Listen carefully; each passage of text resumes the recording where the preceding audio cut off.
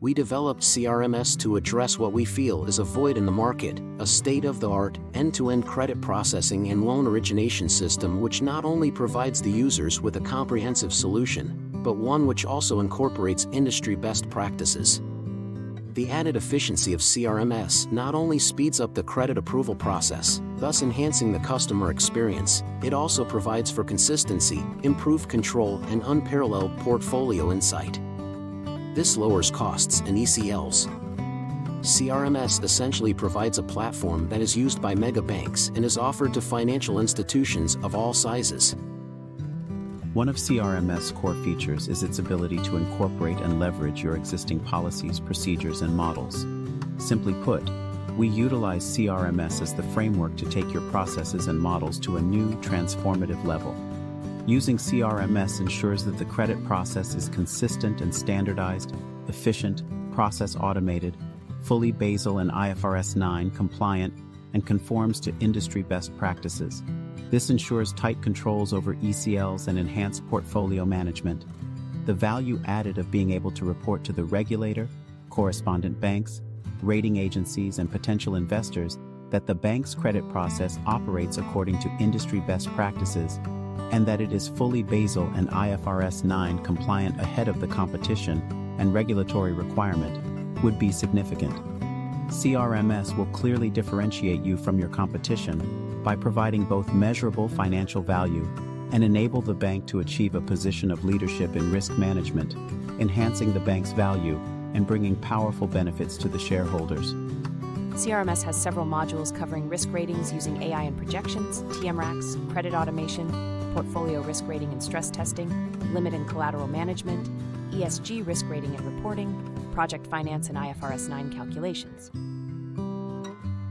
Our risk rating module predicts potential problems early and provides advice on facility structuring and strategy for a borrowing client.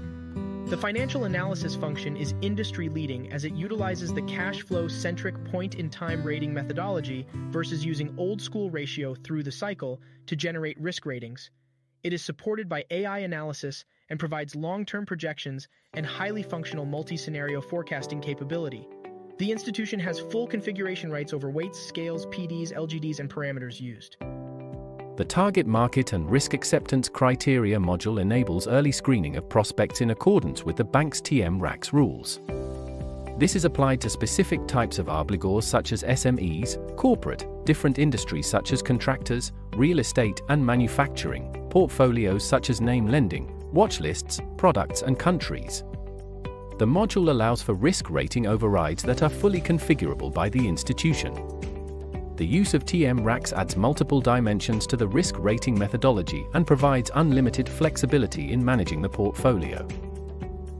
The credit application module automatically generates a standard application and populates the required obligor data, historical and forecast numbers, and performance ratios. It also incorporates AI in the analysis and provides users with insightful discussion topics for the analyst to address. The CA function provides for paperless approval based on the bank's specific credit policy and automatic routing along the approval path, from analyst all the way up to the board. The module allows for a very large number of workflows, including straight-through processing, with each level of approval managed through sets of rules that are fully configurable by the bank. Portfolio risk rating and stress testing is the equivalent of the steering wheel of a car. This tool is what financial institutions use to construct strategy, monitor progress, and assess the portfolio in line with Basel's Principle 3 of managing credit risk. It is used to check on its portfolio using multiple filters and helps manage concentrations, volatility, liquidity, and achieve optimum earnings. It is also used in calculating green asset ratio for ESG portfolio assessment. Outputs include ORR and FRR distribution, RAROC and RORAC both authorized and outstanding, concentration authorized and outstanding, capital adequacy IRB and standardized and PRR measurement, and can be filtered by industry, facility, collateral, and country. Stress testing adds to the module by allowing for assessing impacts on the portfolio using potential future scenarios. Limit and Collateral Management module establishes a true end-to-end digitalization, manages documents, and evaluates exposures and collateral.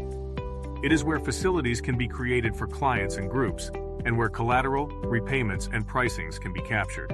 It also allows for a fully digital dual checker processing of tasks, where credit admin can control the approval and release of lines and allow for the capture of drawdowns.